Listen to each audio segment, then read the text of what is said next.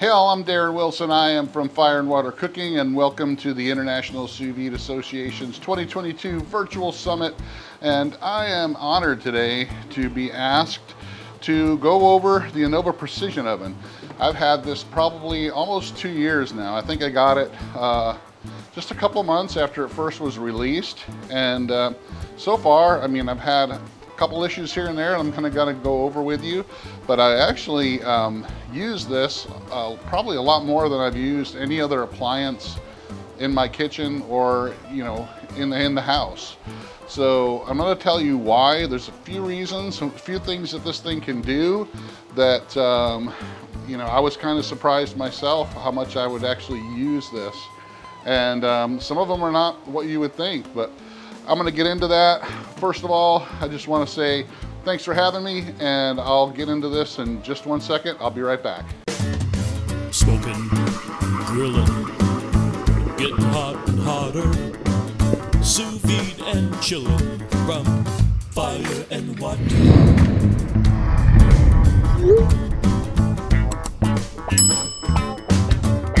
Okay, first of all, if you guys are not familiar with the Anova Precision Oven, um, hopefully you are, but if not, this is pretty much a countertop, home-based combi steam oven. Now, you know, a lot of people will say it's really not quite that, uh, you know, complicated or, or, you know, it's not quite as good as one of those big commercial type uh, combi or steam ovens that you see in the uh, high dollar kitchens.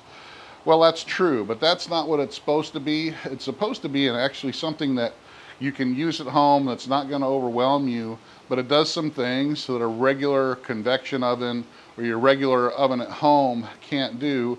And it's actually very affordable. Um, some of the steam ovens that you can buy for your uh, kitchen, you know, the full size ranges and all that, are actually very expensive. They're six, seven, ten, twelve thousand dollars. The combi steam ovens from restaurants are anywhere between twenty thousand to seventy thousand dollars and up. So what this is actually meant to be is something that can give you very similar results, do very similar things than those ovens can do, but to also be able to sit on your countertop and do some other things that maybe those ovens couldn't do as well. So we're gonna get into that. A lot of people get kind of confused thinking that this particular oven was meant to replace this, the sous vide bath, which I guess you could say it does function to some extent as, you know, does some sous vide type cooking. But as far as I'm concerned, it really doesn't replace this because I still use this quite a lot. But what this offers, it, it offers you some options that you don't have with this and that you don't have with your regular uh, oven. And we're gonna go over that in just a minute, but first of all, you know, if you're not familiar, this does come with a probe. There's a probe jack inside the oven that you can actually monitor the internal temperature of your food. Now that's one thing you can't do with the regular Anova or the Anova Pro. Now there are some sous vide circulators on the higher end that have uh, you know thermometers that you can use to stick in your food to monitor the internal temperature of the food while it's in the water bath. But this actually will let you do it without having to be in a water bath. So since this does have the ability to use steam in cooking and it does have a mode that is considered sous vide or it's called sous vide for this particular oven. Uh, I'm going to tell you what that actually means. And I had uh, Scott Heimendinger, the uh, one of the main developers of this oven, on my podcast, and we discussed it in detail. And if you look up Fire and Water Cooking Podcast, you can look up that episode. And we went in pretty good detail of this particular oven. So I suggest you do that as well. So, all right, guys, I'm going to be right back, and we'll get we'll dig a little bit deeper into this and kind of show you one of my top three things that I use this thing for. All right, I'll be right back. All right, guys, so first off, one of the things I do like about it is I can actually use my phone to control this oven, you know, in my house or when I'm out of the house. So that's a real benefit to me because a lot of times um, I'll want to start my cook or finish my cook while I'm not in the house. I'll give you for instance, I do a lot of uh, church get-togethers, and usually we have them right after services on Sunday. And in order for me to actually have something ready when I get home, I can't, I can't really do that in my regular oven unless I set some kind of complicated timer or, uh, you know, just kind of wait till I get home to try to cook it and get it heated up um, in time for the guests start arriving. What the Anova precision oven lets me do is I can actually take out, you know, cold food, put it in the oven, and have the timer set to where it goes off and starts cooking, but I can actually control it from my phone while I'm sitting in the pew at church to uh, set that up. I can set up all the different functions. I can set it in sous vide mode. I can just set it to, uh, you know, warming mode. You know, I can use a lower temperature or a higher temperature. I can adjust all the uh, humidity levels. I can set the timer. I can use, I can have the probe in the food and uh, use the uh, probe temperature to control the cook. So that's what I, I actually use this a lot for that. So believe it or not, I don't use it a, a lot for sous vide type cooking. I do use it occasionally for that, but I use it more for the ability to control the entire cook when I'm not around or at, at, not at home. Or if I'm in another room, I can control it and watch it and, and follow up on my cooks without having to get up and check the oven every 10 minutes. So that's one of the things I love about it. But if you notice here, this has got a big water tank on this side. One of the first questions people ask, well, how much water does this thing take? I don't know if I want to go out and buy distilled water, you know, every other week to fill this thing up. Well, fortunately, this thing sips water very, very lightly. I mean, it doesn't take, you know, doesn't use water quite as much as you would think it does. It doesn't need a whole lot of water to create the steam that it uses. Because remember, it's not creating steam to fill the whole entire thing with 100% steam all the time. Sometimes you're using it for less, sometimes you're not even using the steam. But it really doesn't need a whole lot of water to create the steam that it needs. So, so get that out of your head. You don't have to worry about, you know, you want to use distilled water because you want to make sure the, uh, the internal uh, machinery doesn't get all gunked up with all the minerals and all that. But it doesn't cost a whole lot. I mean, you can get a bottle of distilled water for a dollar, and that really will last you two or three months, you know, maybe even more. I hardly ever uh, have to put water in my tank, so um, and I use it quite often. I use this probably three to four times a week for various things. So um, yeah, I mean, don't even worry about that. They do uh, continually uh, update the firmware and they're all always tinkering with it and changing the firmware, trying to improve some of the software control issues on this oven. So it's not uh, something that uh, they're not just leaving you here with this oven and then you know you're pretty much done with it. You know they're constantly working on and improving the firmware software for this oven. I, I use this, like I said, with Wi-Fi all the time and the Bluetooth, you know, for the controls. The app, I'm going to go over the app in just a minute. We'll go over some of the uh, functions of the app. I don't use the app 100% of the time for recipes, but they do have plenty of good recipes on there. So let me go ahead and open, uh, show you, show you here that it does have the readouts on the uh, door panel here. And you can actually change, change some of the things on here. You can use the, change the different um, elements. So you got a top and bottom element and a rear element. So you can actually change how those elements work. You can also change all that. There's a lot more functionality on the app itself.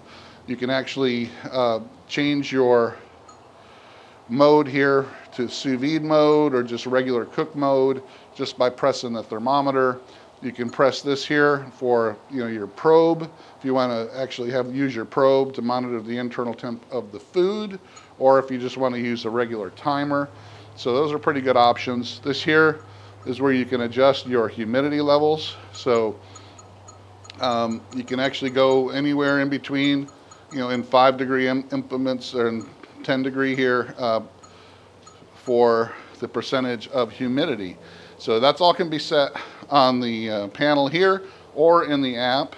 There's some other functionality the app's going to have as well that you can't do on here, but um, uh, like I said, there's it's neither here nor there a lot of times. So we're going to go ahead and show you the inside of the oven. Um, you know, this one, I said, I, I clean this as best I can. I've been using this for almost two years, so this is pretty clean from from what I've had, you know, at sometimes. But one of the things that you're going to see here, this is where your probe plugs in, right here on the side. So you can use it from both racks here uh, just fine. You got your convection fan in the back, you got a heating element on the bottom, heating element on the top. So there's a heating element behind the uh, convection fan in the back there. The uh, thermometer over here in the corner, let me see if I can get you a little closer in, kind of show you some of the stuff inside there. So there's a couple different thermometers in here. Now this one right here in the back, you'll see it looks like a little thermometer sticking out and it's in like a little cup. Well, that's where your um, wet bulb temperature is re reading from.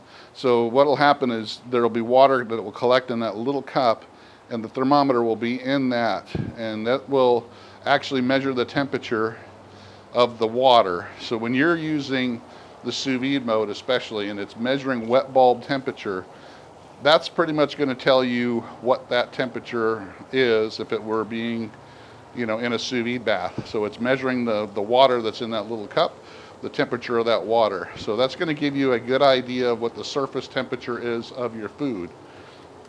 Now you'll see there's another thermometer here in the back on this side. It's a little bit longer. That's your air thermometer. So that's the one that's going to measure your temperature of the air inside the oven. So two different temperatures, two different ways of measuring it. Wet bulb, dry bulb, different uh, functionalities in, uh, in your cooks.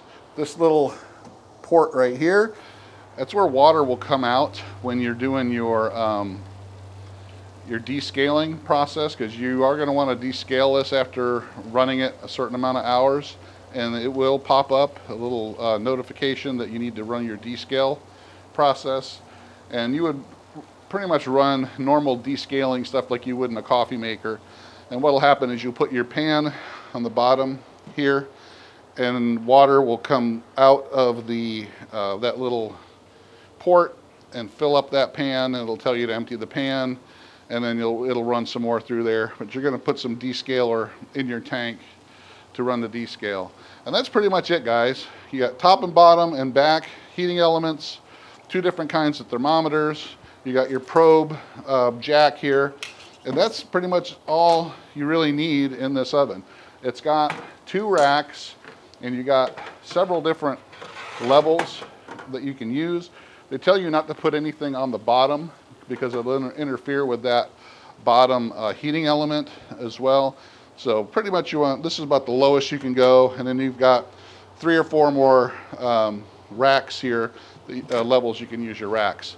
So there's a couple different pans that will fit this and I'll, I'll show you in a minute the pans that I like to use. Um, one of them is not the Anova pan, believe it or not. I, I bought some third-party pans, but uh, the Anova pan, from what I understand, is one of the things they had issues with um, initially, then now they've changed it. The, the, initial one would actually warp a lot, and now the new one does not.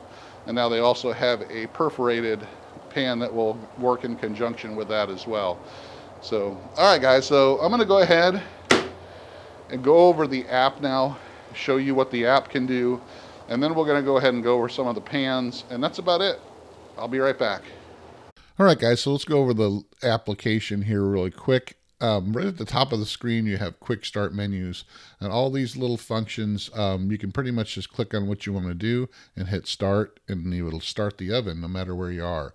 So, air fry, steam, convection bake, proof, uh, regular bake, dehydrate, uh, broil. All these functions are right here on a quick start menu at the top to make it a lot more convenient for you to uh, run your oven. Also has some uh, recipes, a lot of different recipes, a lot of videos built in to kind of explain what the oven is as well. Um, but you can also control it manually by clicking just on the oven button there in the middle bottom, and it'll take you right to the functions or uh, all the different uh, controls that you have with the oven. Also has an activity menu here. You can see what you were doing. Then when you hit more, this is where you would change your uh, firmware, update your firmware, all that stuff. Tells you the version that you're using. You can disconnect your oven from Wi-Fi and all that. So let's go back into the uh, recipes real quick. And these recipes will walk you through the entire recipe and actually have all the functions that the oven needs to do to prepare them. So it's actually pretty much uh, walks you right through it if you need it. All right, guys, so I'm going to show you, this is the actual pan that came with the uh, precision oven. Now this is actually the original one, and this tends to warp when you're using higher temperatures. So I don't use this one that much. Now they did come out with a perforated pan that you can buy separate that um, I got uh, probably about three months ago. And it will fit right inside the other pan, the original pan. And you can use this to kind of uh, help uh, keep your food out of like the moisture that may develop in the pan. But you could also use it for baking bread and all that kind of stuff, baguettes, things like that. People who use that. Now, after I got this oven, I actually went and bought these pans off of Amazon. And um, uh, if you need them, if you want to know what they are, you can actually uh, go ahead and send me an email at fireandwatercooking at gmail.com and I'll send you a link to these. But what I like about them, it has that rack in there and it keeps everything off of the bottom. So you get a nice overall, especially if you're doing like an air fry mode and you're wanting to crisp stuff up, keeps everything off the bottom of that pan so you can actually um, do an air fry mode. And it fits perfect in there. It's, uh, like I said, it's I've had no problems. I have two of those. They come in a two pack and I've used those pretty much all the time. I hardly ever use these pans that come with it but I use those pans all the time, those third-party pans that I bought. So they work really well. Like I said, you can actually do sous vide without the bag in this oven. Now, a lot of people will go, well, it's not sous vide if it's not under vacuum in the water. Well, you can actually use this oven and put something in, the, in a vacuum bag to cook it sous vide type the results that you get and the cooking method that it does, the lower precise cooking temperatures and the ability to use the moisture, to use a wet bulb in those, to measure those lower temperatures more accurate than you could without it makes it for what sous vide actually is, is, is in my opinion. It's the low, precise temperature cooking that makes sous vide. It's not the vacuum bag. It's not the tub of water. It's that precise temperature, lower temperature cooking. And because that's what you're using that vacuum bag for is to be able to put it in the water. And the water is just a better transfer of heat and your ability to monitor and measure and keep that water moisture at that lower temperature is the whole reason you're using that water in the first place. So I'm not going to argue the point. You can cook sous vide style is what I, I guess you could say in this oven. But it can also do a lot more than that. You can use it as a warming oven. And I've done this on some of my videos where I showed a lot of the restaurants, especially even barbecue restaurants, they will cook their briskets overnight and then when they're done cooking on the smoker, they'll put them in a holding oven, which is got steam in it and it's a lower temperature. Uh, usually they hold them like 140 to 150 degrees Fahrenheit and they will hold them in a steam oven for hours until they serve them. And what that'll do, it will continually, just like sous vide cooking does, continues to break down the meat at a lower temperature and holds the moisture in so that it's not drying out. You know, it's not at a higher temperature that's making the moisture leave the meat. So a lot of, uh, you know, commercial kitchens use holding ovens and you can use that for this. That's one of the things I was saying about um, cooking something when you're not at, at home and you can actually monitor it, put it on warm, use the moisture ability so that um, you're just holding the food and not continually to cook it and it's not drying out and the moisture is actually helping you control that temperature a little bit more precisely. All right, I'll, well, one more thing I want to talk to you about, and it's the ability that this Anova oven has to do something called Delta T cooking. You can do it with the sous vide as well if you have an internal temperature, which some of those higher end sous vide circulators have, like the Hydro Pro from Breville Polyscience. But this makes it awfully easy to do inside your Anova Precision Oven as well. Because what you want to do is measure the internal temperature of the food so that you can cook at a little bit higher temperature on the sous vide side. Let's say you want to do a medium rare steak at like 134 degrees, but you don't want to wait two and a half hours for it to get to the internal temp that you want.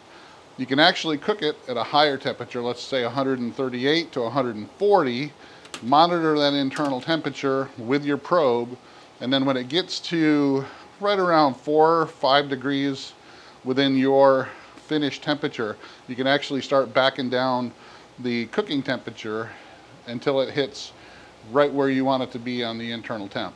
So that's called Delta T cooking, and that's something that this oven does really well, just like you can do with the higher end sous vide circulators. So that's it for the Nova Precision Oven, guys. I hope you got something out of this. Thanks for following along with the International Sous Vide Association's uh, Sous Vide Summit. Thanks for letting me be a part of this. Also wanted to mention I'm coming out with my own seasonings here and sauces and fireandwatercooking.com. You can check them out on the online store.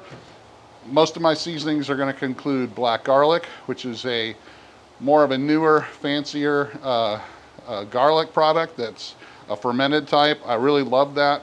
I've been making my own uh, seasonings now for the past four or five years and incorporating black garlic into those. I decided I'm going to go ahead and release these. These are something totally different. Nobody else is doing it right now. I'm also going to come out with my own sauce. The sauce will be out just as well. This is a blueberry, black garlic, and balsamic.